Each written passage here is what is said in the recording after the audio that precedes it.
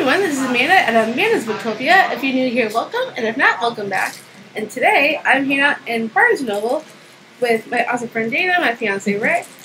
And so, I actually got this package today from the lovely Karina from She Dreams in Words. I will link her Instagram down below. She gifted me a book. I have no clue what it is. So I plan on opening it and do and then we're going to do a reading vlog because I want to share all my reactions to everything. So now we're going to open this and see what it is that she got me. Um, there's, oh, there's gift notes. Let's see what she said. She said, thank you for your love and support, Amanda. I think you'll enjoy this Mafia dark romance. Ooh. And hopefully even find a new book boyfriend in Tristan Caine. Love you. Happy reading from Karina. Very, very sweet of you, Karina. I can't wait to see what Mafia Romance this is, because I love Mafia Romance. So. Ooh, The Predator by RuNyx. I put this on my Amazon wish list because Karina loved it, and the girls were all reading it. So I'm like, I want to try it out too.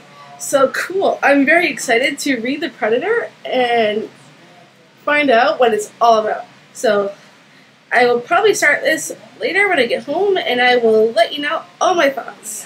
Today is Wednesday and I started reading The Predator last night at, when I got home from Barnes & Noble and I have gotten five chapters in. I'm about to start chapter six and so far I'm actually really enjoying the main character Marana, I think her name is? Uh, Morana I really like how she's so brave and she has that badass attitude and she's all I love how strong she is. And I don't know what to think about Tristan just yet because it's fairly early and I don't really know much to judge him on except that he is very odd. Maybe because he's used to the way he is because of who he is. For those who have read The Predator will know what I mean. But so this is a mafia story. And so Tristan's on one side is he's a part of one whole area of a mafia family.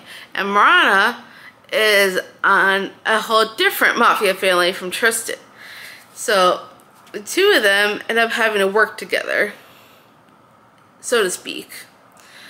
And in order to get something accomplished that happened. So she has to get things fixed. And so they have to work together. And it's a very interesting, dark mafia romance so far. I could see the sparks flying already. um, I don't think they really like each other all that much as of yet. But I could kind of see why, because they're two from, from completely two different opposite mafia families.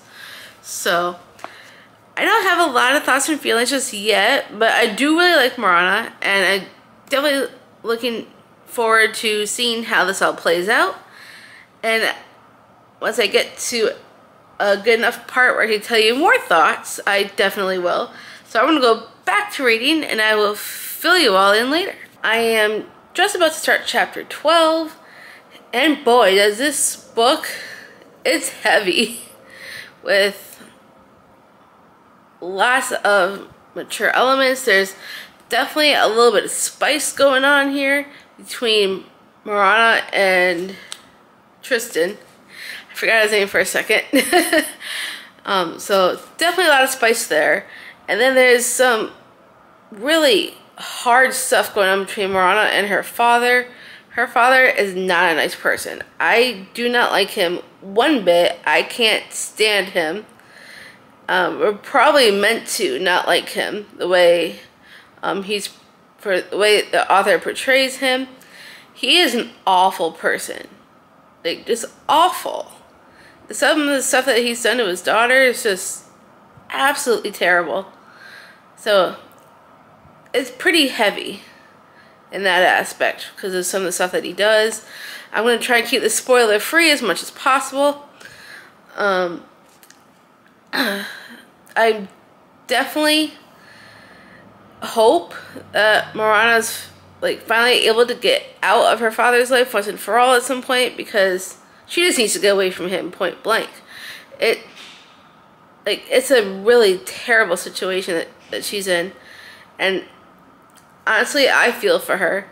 She's trying to be as strong as she possibly can while facing some really hard choices and living a life she didn't really actually want. So, it's definitely a uh, dark read so far. So, I definitely feel bad for her. And I'm about to start chapter 12. I'll try and get some more reading done today because, well, technically I'm already on page 193, which is the start of chapter 12. How many pages are actually in this book?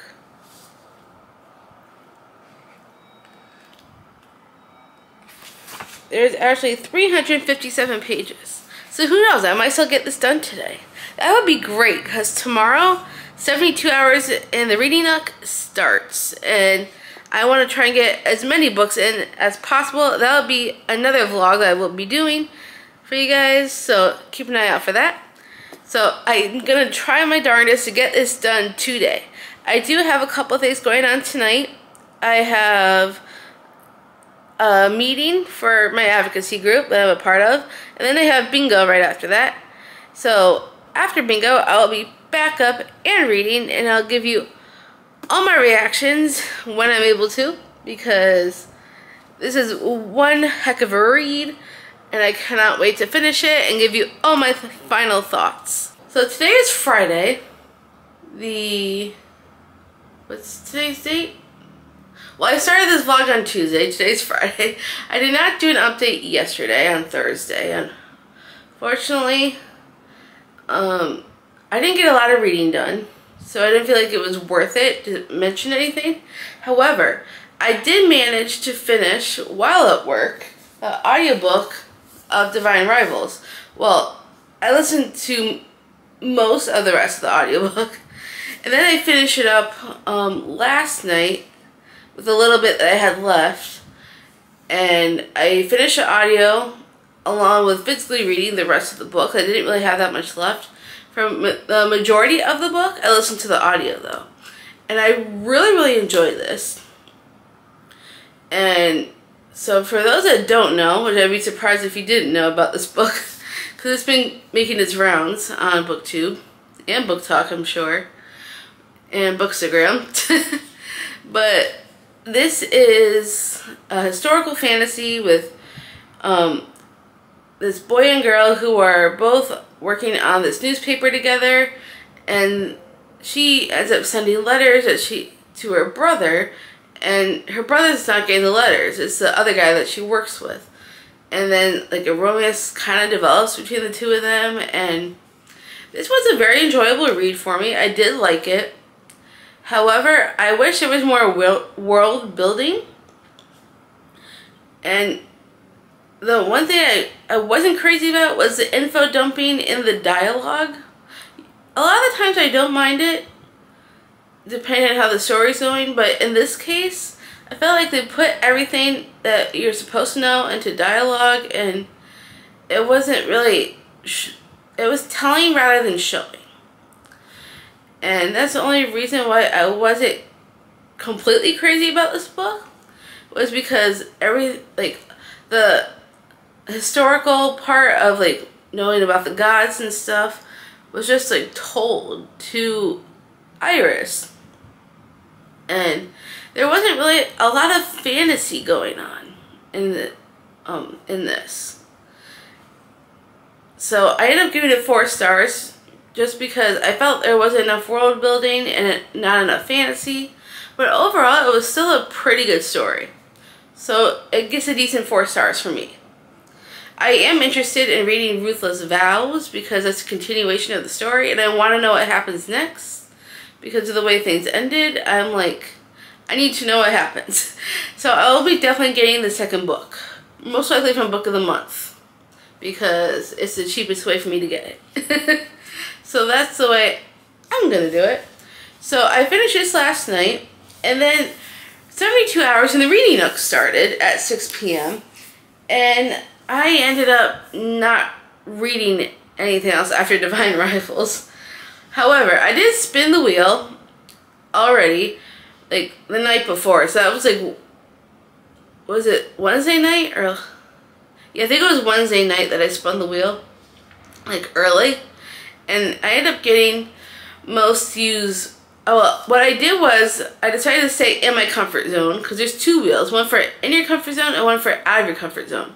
I decided to say in my comfort zone, and then I came up with most used format and so since I was already reading The Predator, I just decided to stick with it and continue it for that. And I am currently on page, whoa, um, 230. And I got the majority of it done already. So there's not too much left for me to finish. Only about this much. So there's like, how many pages again? 357. That's not too bad. I could probably knock this out today.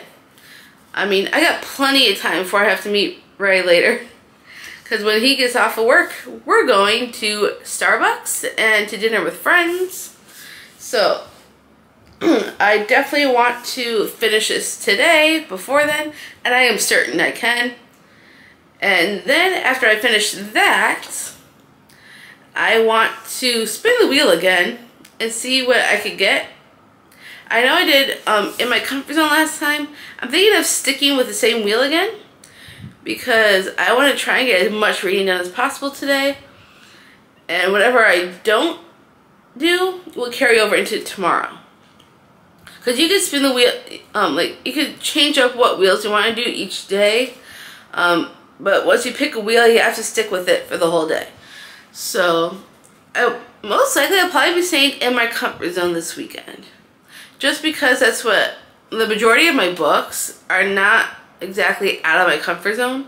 They're pretty much all in my comfort zone. The only ones that are not are my um, graphic novels.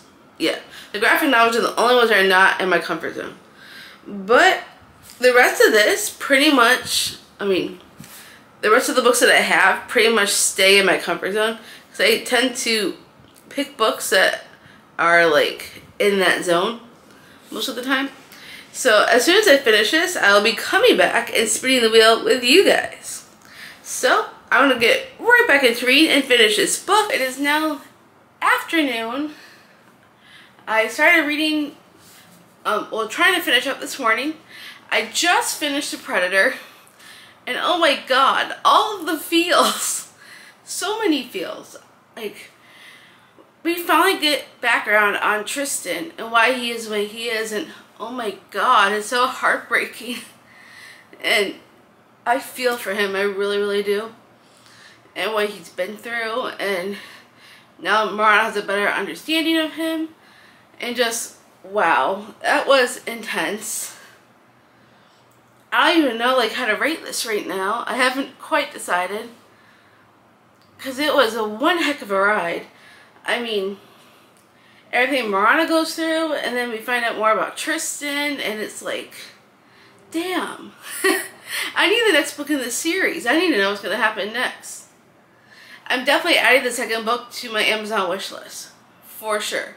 So I want to continue the series and see where it goes. Because this is like dark, twisty. You never know what's going to happen next. These are probably the most unpredictable characters I have ever read. And that's what makes it so much fun. Because you never know what's going to happen next. And Marana and Tristan, they're like the ultimate power couple. I cannot wait see them finally get together. Like, finally, finally. Because, well, if you've read the book, you understand like how the ending makes you feel like, you know, there's potential. And I'm really hoping you know, everything works out the way it should. Because Tristan is probably one of the most heartbreaking heroes I have ever read, besides Dominic from One Last Rainy Day by Kate Stewart. If you haven't read that series, that's a necessity. but this, Tristan, reminds me so much of Dominic. It's just, it's heartbreaking. I was like tearing up and stuff. Um, this might end up being a five star, if not more. Because it just reminded me so much of Dominic from One Last Rainy Day, and it's just, it's tough. I don't know where to go from here. I mean, it was all the feels, everything you could possibly imagine in this book. Like, if you if you want a dark mafia romance, this is a book for you. Because it does get pretty dark. Especially Tristan. Once you get to know, you know, his background. That's probably one of the most devastating backgrounds that I've read. From, like, pretty much any book. Like, just wow. I, I mean, it explains so much in the way he acts the way that he does in this book. And makes so much more sense now. And now I need to know what's gonna happen. I need the next book. I I don't know if I can wait much longer. I might have to buy the second one.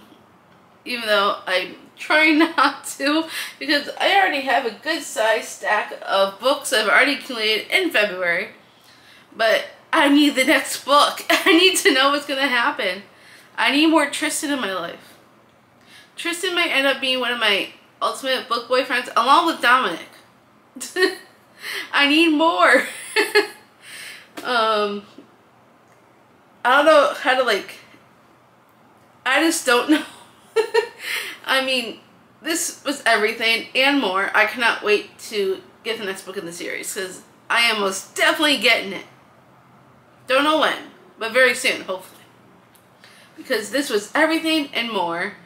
And I need more Tristan in my life, so I guess we'll put it that way. And now it's time to spin the wheel for uh, in my comfort zone for 72 hours in the reading nook. And we're going to pull that up because I need to figure out what book I'm going to read next. And I don't know if anything could come close to what I just read with The Predator. But we're going to give it a go. Let's see what happens.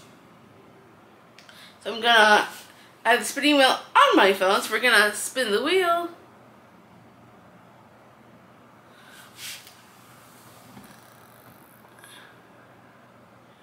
And it says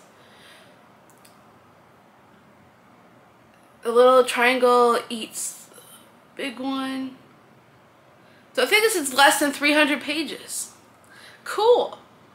That's great. You want to know why? I have the perfect book I want I was saving for this weekend in particular. And because you want to do less than 300 pages, this most definitely has less than 300 pages.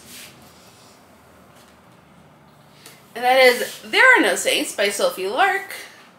I believe it has, let's see, 258 pages. Yep, definitely three under 300. And I have heard amazing things about this duology. And I know it's dark. And I believe there's a lot of spice in it. Um, I read Sophie Lark before, enjoyed her writing for the most part. So I am very excited to dive into this one and see where it takes me. I'm hoping I'm going to love it and I'll want to get the second one in the duology. Um, yeah, it's called The Sinner's Duet. So we're starting with There Are No Saints and we will go from there. I will keep you guys updated on how this is going. And I dropped a book. Good job, Amanda. um, so I am going to go on back to reading and I will keep you guys updated. Today is Saturday. I finished There Are No Saints late last night. I think I stayed up till around 1 or so, maybe 1.30 finishing this book. And it was definitely an enjoyable story. I gave it four stars. I love the majority of the book and the toxic relationship between Cole and Mara. It was definitely a heck of a time. Um, the reason why I gave it four stars and not a full five stars, it wasn't really a favorite because of this scene near the end of the book where it was supposed to be like a spicy scene. However, the spicy scene for me, uh, I had an issue with the fact that um, there was no consent and that you know he kind of just took advantage of her while she was um, I guess and cuffed. And even though she said multiple times no to a few things he did it anyways. And in that lifestyle you're supposed to be able to say no and they stop entirely. Even if you have a safe word. And you and, like i mean she didn't have a safe word. They didn't even talk about what was going to happen before they went into it. So i kind of had an issue with the fact that he didn't talk to her about her limits before. He just went ahead and did it and took advantage of her while she was in that state and didn't discuss with her fully about what this actually means and like like she didn't consent to some of these things and she just went ahead and did it without her permission and that's the part that really bugged me the most. However the rest of it was still a good story. So i still recommend that um, there are no saints for the people who like dark romances. And it was because it was still a good story. Just that one part really bugged me. Like, I feel like you need to have consent in all areas before you just do something. But if someone explicitly says not to do something, you should not be doing it. And he took advantage of that. So that bugged me. That's why this is not a five star. But we are going to spin for our next book. Now I have a spinning wheel all set to go. So we're going to stay in my comfort zone for the rest of the weekend. So I'm going to go ahead and spin the wheel.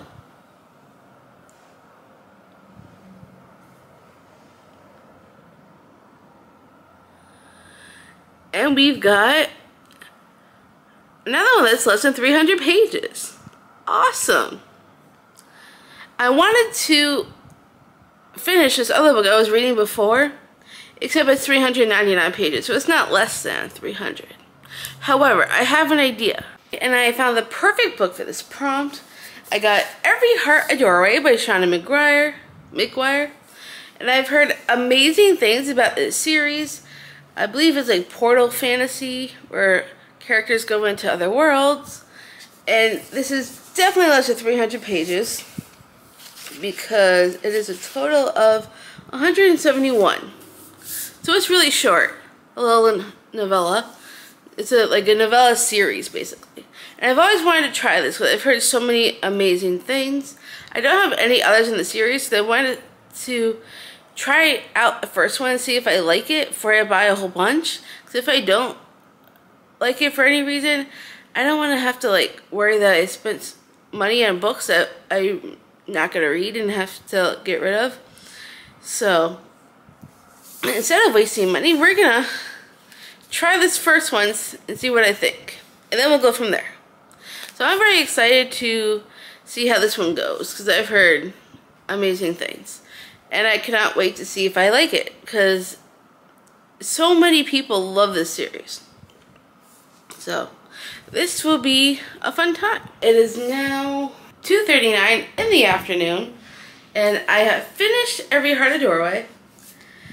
This is a Portal Fantasy for those that don't know. And the characters are very different. Not what I expected, for sure. And it started out very weird for me. I could not understand most of the things that they were saying because in this world they have like different names for directions and like some of them were saying they're part of nonsense or logic or whimsy, wicked, all kinds of weird things. So I had a hard time getting into it at first. However, once I got to the middle of it, um, it got so much better. Like it started doing thrillery stuff. Like someone is killing people in the school, and I'm like, okay, I'm here for it.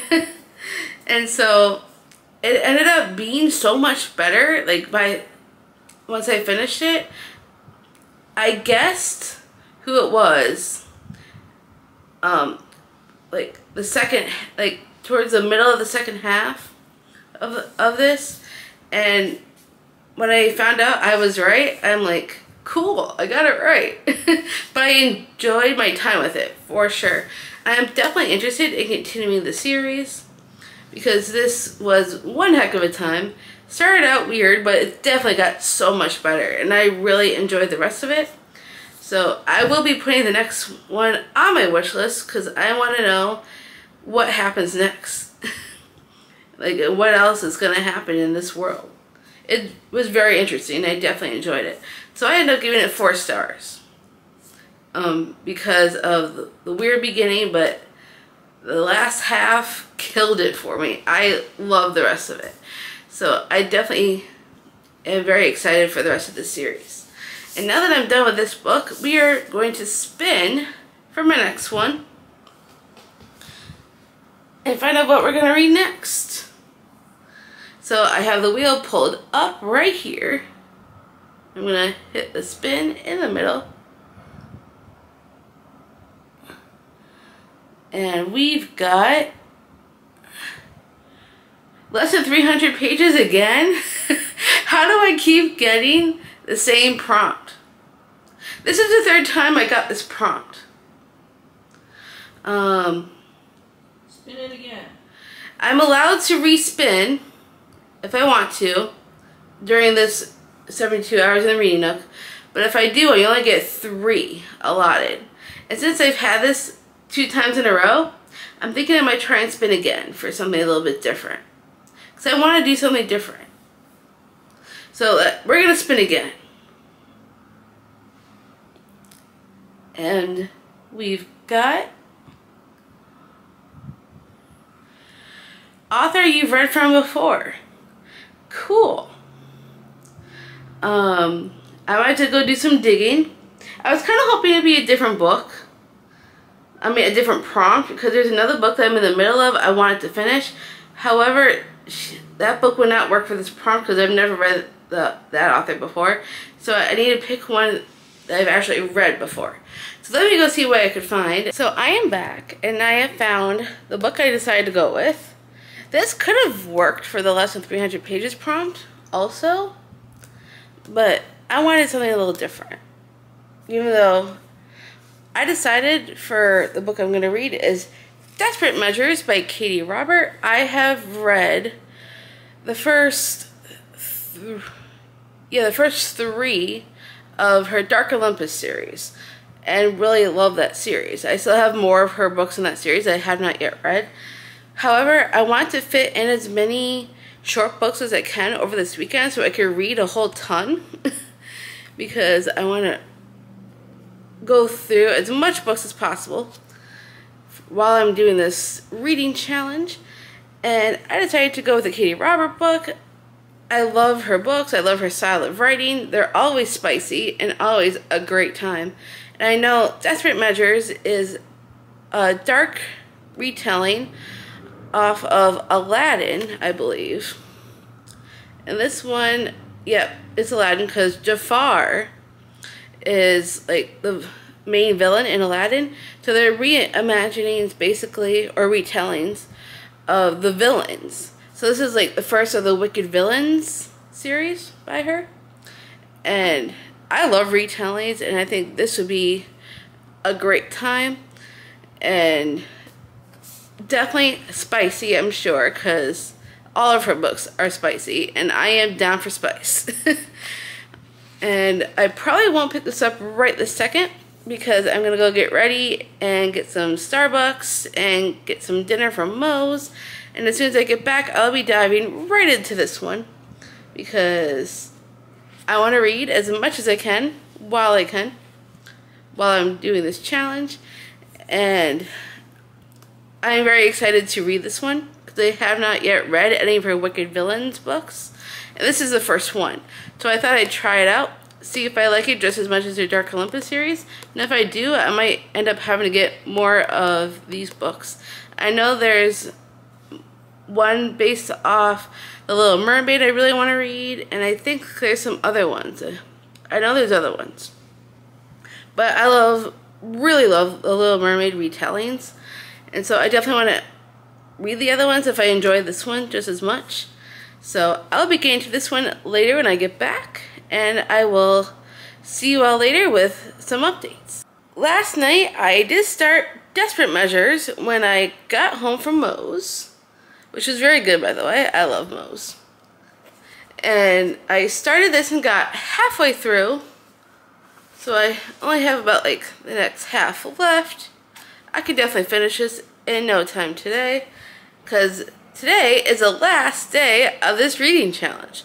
It ends at 6 p.m. Eastern.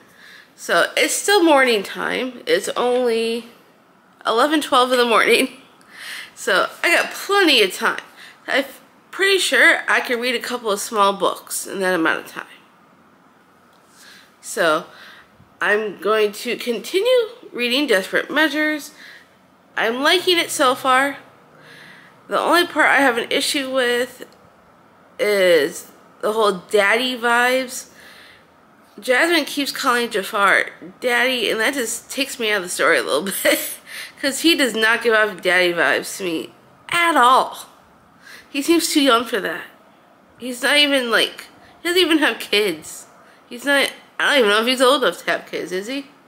He probably is. But anyways, he does not give me daddy vibes. when he she calls him that, it just it throws me off. And don't get me wrong, I I don't mind a good dark, um, steamy book where they do that. Like for example, in Praised by Sara Cate, I have no problem with that because he actually is a dad and he's old enough and he has a kid in that book. However, in this one, it just rubs me the wrong way. so, yeah. This might not, this most likely won't be a five star. Maybe four star. I've been giving a lot of four stars this month. It is about 10 minutes till 4, so final update on Desperate Measures. I just finished it. It actually got better. Even though I still wasn't crazy about some of the daddy references, it continued throughout the whole book. And I'm like, even times when they weren't even in the bedroom. And I'm like, really? So that bugged me a little bit. However, I did enjoy the last little bit of this book because Jasmine really comes into her own. She finally stands up for herself and does what she needs to do. So that's probably my favorite part of the whole book. So I definitely, for the most part, definitely enjoyed it. So this was for sure a four star because of the whole daddy issue. But now that it's over, I can move on and pick my final book of this readathon because there's only a couple hours left. So if I could find one more that's short, that would be great. So let's get ready and to spin again. I have the wheel all set to go. So we're going to go ahead and spin.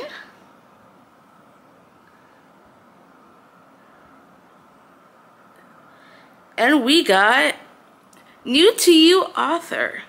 All right, I have some ideas I could do for that. And with only a couple hours left, I think that's doable. So after careful consideration, I picked my final book because I, hopefully this doesn't take me two hours to actually read. However, there's not a lot of time left in the readathon. So I figured I'd go with something short, and I think I could get through it. So I went with The Never King by Nikki St. Crow. It's a Peter Pan retelling, and I have not heard very good things about this one, unfortunately. However, it's a short book, you know, first of a series. So there's only like 195 pages, I think. Yeah, 195. So this I could probably get done in the last couple hours, I'm sure. So I'm going to give this a shot. I don't know if I'm going to like it because I read Never by Jessa Hastings this month, which is another Peter Pan retelling, and I DNF that one. And because I didn't, I heard didn't hear great reviews on that either, and I DNF that. So I'm a little bit worried when it comes to this one, but we will see what happens. And if I decide to DNF, I'll do that. I'd rather not. I hate DNFing books if I can help it. So we're gonna at least give it a shot. Don't know if I like it, but you know, it's short. So we'll see what happens with this one. I just finished The Never King like a few minutes ago.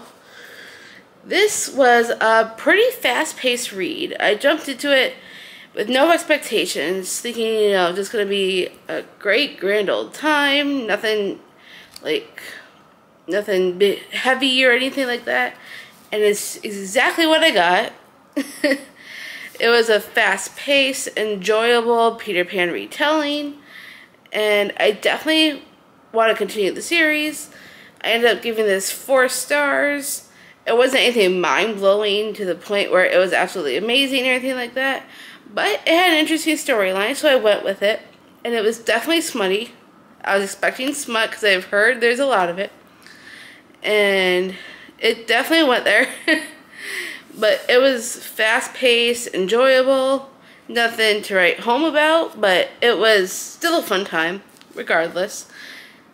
And I definitely would like to get the next one in the series just to see what happens next because I'm curious. I want to know where they're going to go from here. I think the next one's called The Dark One, so I'll also check that one out. But this was super fun, super light. Well, it has some dark undertones in the book, but it was like a light, fluffy read for me because this this is nothing. People will call this dark, but to me, it's not dark. it's just, you know, a good old time, no worries kind of deal. But I had fun with it. And it is way past the time this readathon ended. Technically, it ended at 6 p.m. We are now after 7. So this is definitely done. This whole vlog is coming to a close. So I hope you guys enjoyed watching everything I've read over the 72 hours in the Reading Nook, including Karina's gift to me, which was a great pick, Karina, so I'm very excited. I get the second book um, in that series that she gifted me tomorrow, and I am very excited for it because I want to know what's going to happen in that series. So this was so much fun. I hope you all had a great time with me. If you did, give me a huge thumbs up. If you want to see more bookish content from me, make sure you smash the subscribe button down below, and I'll see you all next time.